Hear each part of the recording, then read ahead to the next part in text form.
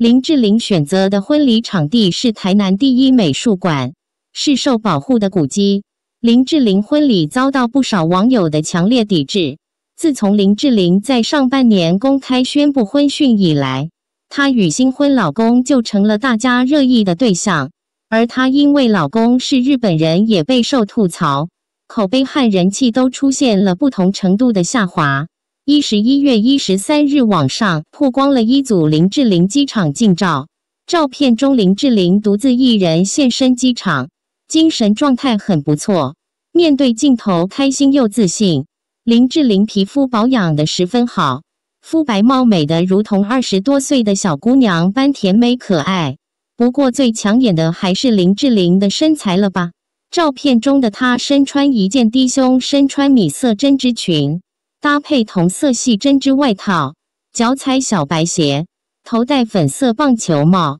少女感十足。可以看到好身材若隐若现，大秀事业线，弯腰扶手之间险些走光。然而当他看到镜头一直对着自己抓拍时，林志玲本人反应很真实，做出了一个尴尬耸肩、演技嘟嘴卖萌的表情，稍显尴尬，不好意思。不过她本人似乎心情十分不错，露出尴尬又可爱的微笑。据悉，林志玲与老公黑泽良平即将在台湾举办婚礼，在日前网上曝光了其两人疑似婚纱，反而是简单的穿上了白衬衫和牛仔裤。在篝火旁拍起了照片，按照拍摄的动作 pose 设计，其中有一个场景是黑泽良平要把腿搭在林志玲身上，两人深情对视。然而就在此时，林志玲发现黑泽的衬衫扣子开了，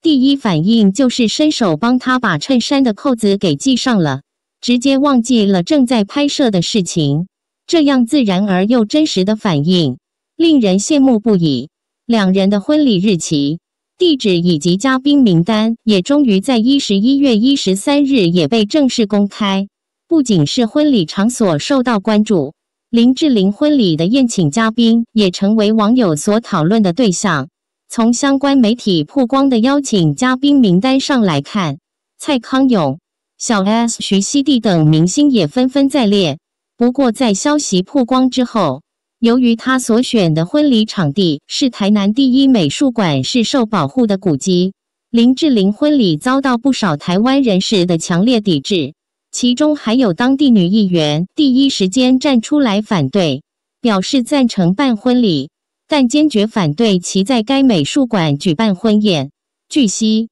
台南第一美术馆有百年历史，加上从没有举办过婚礼的活动，而且涉及到文物保护。因此遭到不少台湾网友的抵制。据最新消息，有超过三成的当地民众反对林志玲在这间美术馆举办婚礼，原因都是担心破坏了这间馆子的文物和声誉。一向很注重声誉和口碑的林志玲，会不会因此更改婚礼举办场所呢？我们拭目以待吧。